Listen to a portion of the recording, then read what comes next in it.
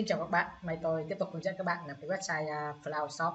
Thì bữa trước thì tôi đã hướng dẫn các bạn là làm ra cái cái trang uh, form một cái sản phẩm mới như vậy. Rồi tôi cũng đã hướng dẫn các bạn uh, tiếp thị nên cái nick directory từ database lên cái phần uh, drop down box này. Đó. Rồi hôm nay tôi sẽ đi hướng dẫn các bạn uh, làm với cái chức năng như là để mà xử lý cho nó lưu cái data từ cái UI này xuống server rồi server sẽ lưu vô database. Thì tôi sẽ đi làm như sau thì tôi à, sẽ quay lại cái trang à,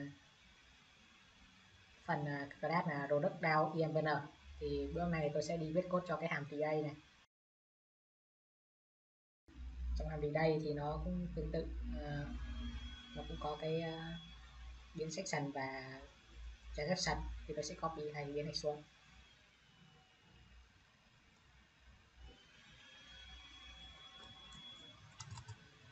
Rồi tiếp theo thì uh, tôi cũng có cái uh, try quét tôi sẽ copy cái try này xuống.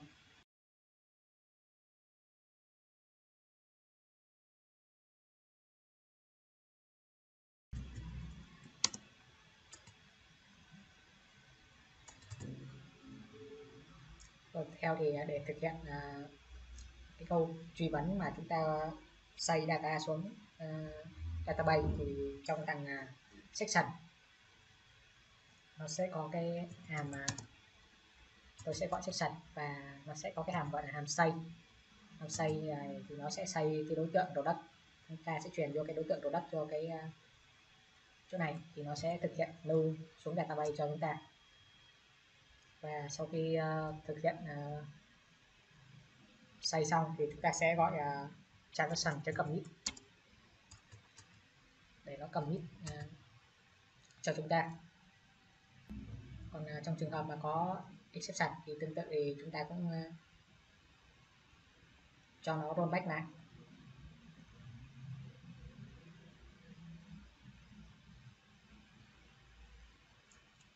Chúng ta sẽ kiểm tra cái nếu mà transaction này khác luôn thì chúng ta sẽ thực hiện là rollback lại cái uh, dữ liệu của chúng ta như ban đầu.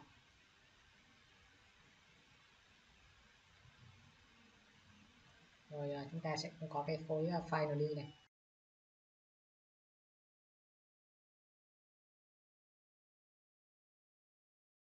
Rồi, tiếp theo thì à, nếu mà nó xây success xây xuống database set thì cái đối tượng product này nó sẽ có, nó sẽ bên dưới database thì cái phần ID này, tôi đã set cho nó là auto ờ, tăng, tức là tự động tăng thì nó sẽ xét cho chúng ta, cho cái đối tượng product này, cái ID thì tôi sẽ kiểm tra. Nếu mà cái ờ, đồ product mà khác luôn.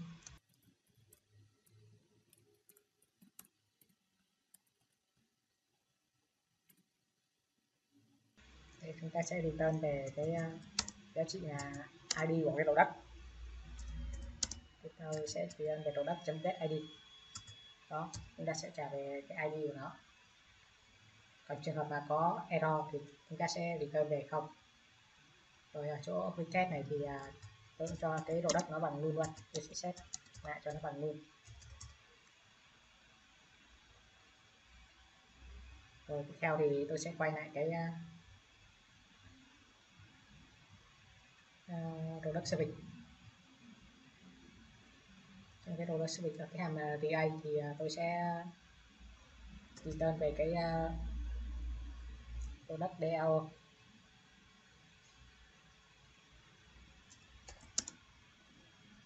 à, gọi hàm DA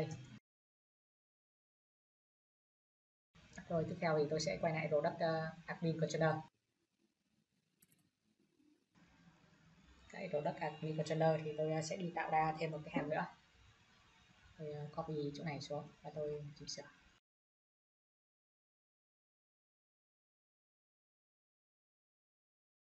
Đây tôi sẽ đầu tiên cái hàm này là hàm à, xây đồ đất và cái value ở chỗ này tôi sẽ sửa lại là hàm xây rồi là request method thì tôi sẽ sửa thành là bot rồi khi mà cái trang à, app.jp này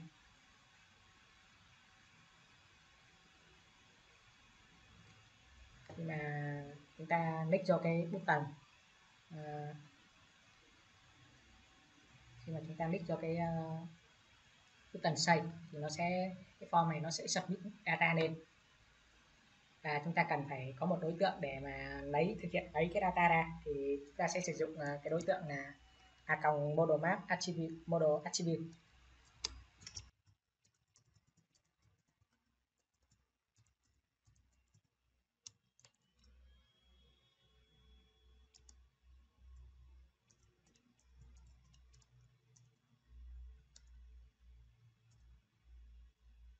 đó, chúng ta sẽ sử dụng cái đối tượng uh, model attribute này tôi sẽ import vào rồi. À, tôi sẽ thêm uh, cho nó cái value ở trong này là product. Nhà này tạm thời uh, tôi sẽ đi tên này một cái với uh, chống đi. Đó các bạn uh, nhớ uh, sử dụng cái đối tượng model attribute này để và chúng ta map và chúng ta lấy ra cái đối tượng product ở trong cái form.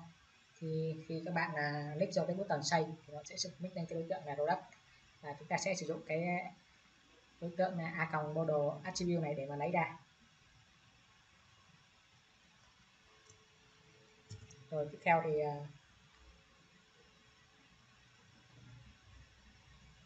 chúng ta sẽ có một số cái à, trong cái đồ đất thì có một số cái giá trị như là thumbnail này rồi uh, PA date rồi ca tớt thì tôi sẽ gắn cho nó một cái giá trị à, mặc định nào đó. Thì à, tôi sẽ gọi đồ đất. Tôi gọi là set à, thumbnail. Thumbnail thì tạm thời tôi sẽ set cho nó một cái chuỗi trống đi. Rồi tiếp theo thì tôi sẽ set cho nó cái ca là một chẳng hạn rồi tiếp theo à, thì tôi sẽ set cho cái uh, ngày tạo set creative date thì tôi sẽ set cho nó là cái ngày uh, hiện tại của hệ thống. Thì tôi sẽ new date để cho nó lấy được cái ngày hiện tại của hệ thống.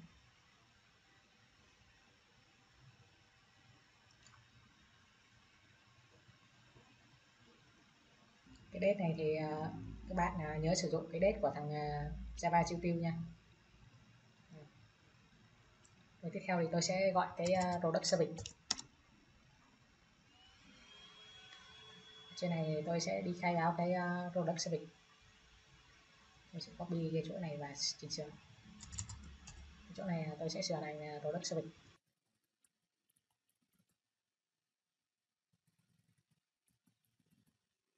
rồi tôi sẽ import rồi. Đó rồi chỗ này tôi sẽ gọi product service tôi sẽ gọi hàm ds product.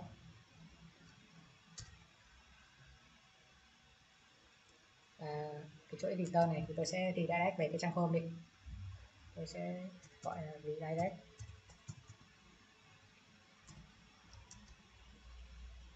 Set home.html tôi sẽ return về cái trang chủ.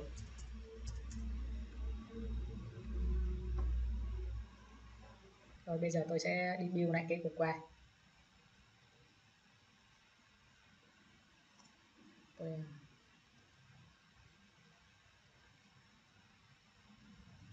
Đó, tôi sẽ có lệnh là npm min install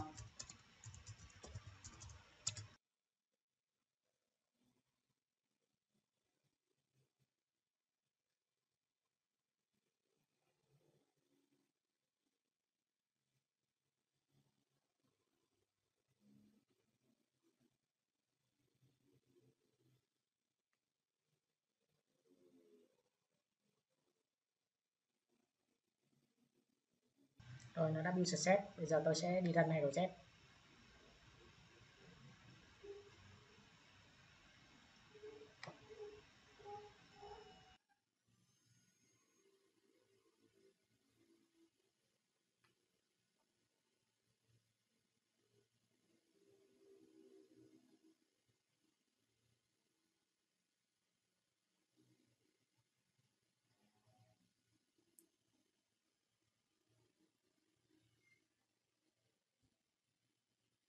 Đó, thì cái trang web của tôi nó lên như vậy. Và hiện giờ cái trang home của tôi thì nó có bốn sản phẩm.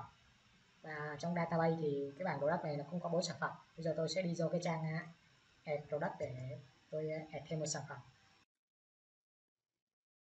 Đó thì đây là cái form add sản phẩm.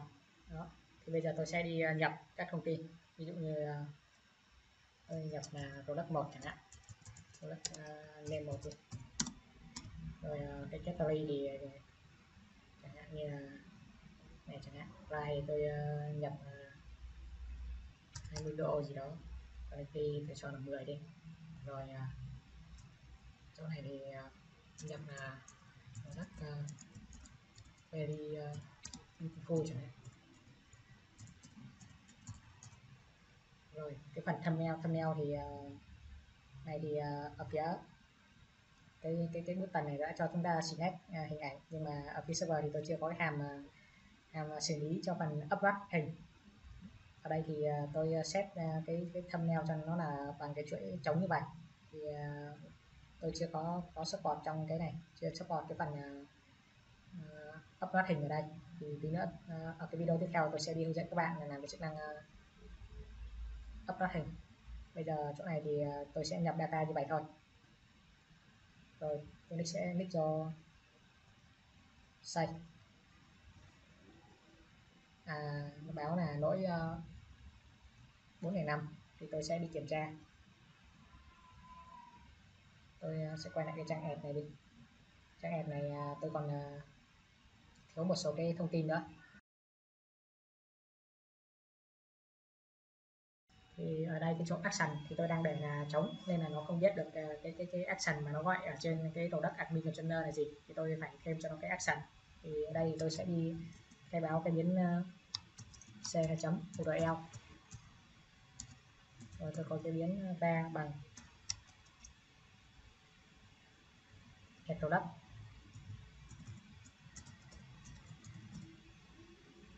uh, url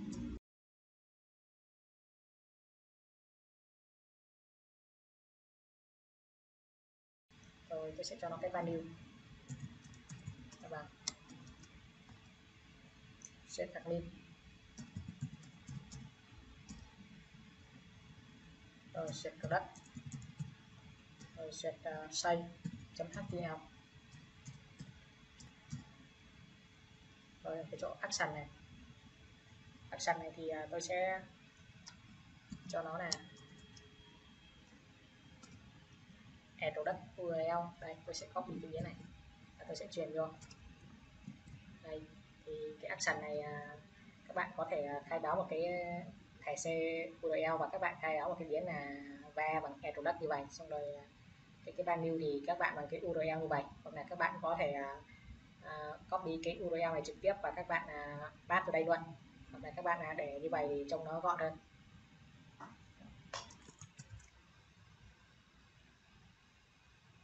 Đó các bạn nhớ để lại như viết lại cho tôi như chỗ này nha. Rồi tôi click cho xanh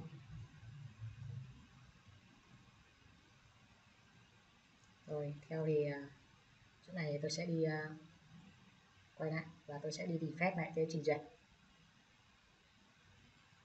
Rồi tôi sẽ nhập lại.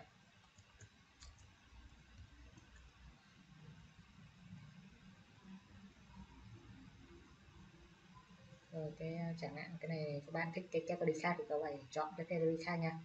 Rồi, cái description này ta sẽ nhập description cho nó.